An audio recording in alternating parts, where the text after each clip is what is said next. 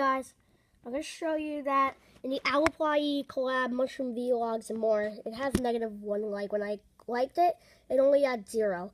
But when I unlike, negative one.